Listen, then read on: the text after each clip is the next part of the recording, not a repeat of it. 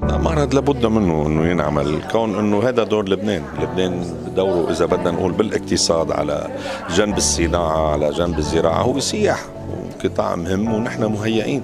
وكل قطاعاتنا السياحية مؤهلة أنه تلعب دور لاستقطاب الزوار والسواح من كافة الجنسيات والأذواق وتتلائم مع كافة العادات الاستهلاكية لأي جنسية كانت. من هون كان علينا نرجع نركز على إطلاق معرض السياحة والسفر الدولي ال ITM اللي حيكون بفبراير بال 2020 ب Seaside من 19 ل 21 فبراير لا نرجع نعطي نظرة لكل المجتمع الدولي عن أهمية أنه يكونوا في سواح في لبنان إن كانوا هن من محبي البيئة أو الطبيعة أو اللقمة الطيبة أو الاستشفاء أو الطب أو إقامة الأعمال.